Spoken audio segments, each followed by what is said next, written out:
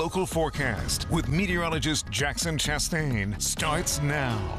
32 this morning and dry outside. Another chilly one on tap. That's thanks to what were clear skies heading into the evening across the United States. Very, very chilly as well. A few locally warmer spots, but this, I think, really indicates where the warm sector of this low pressure system that we're watching is.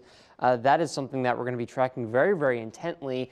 Uh, you can see, again, exactly right here, just ahead of that front itself. You're seeing a little bit of that warming of the air.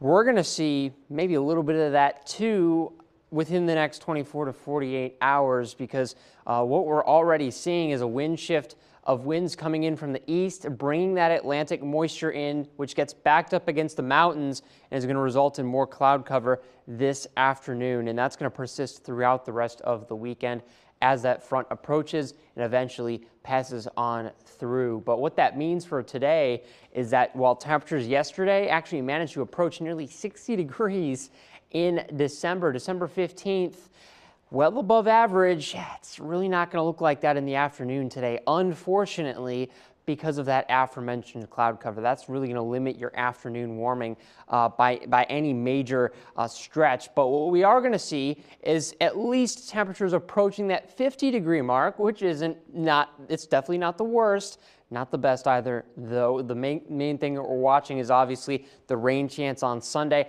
That's really going to be arriving later in the day, heading into the afternoon and evening hours, continuing through your Monday.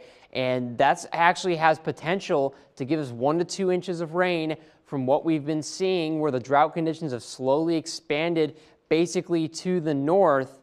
And with that being said, if we can get that two inch mark, that's all the better because the deficit at this point is still sitting at about eight inches despite what we got earlier this past week. So, and we only have one major rain chance. That's this weekend. And then the rest of the week is dry. It gets sunny things start to cool down once again.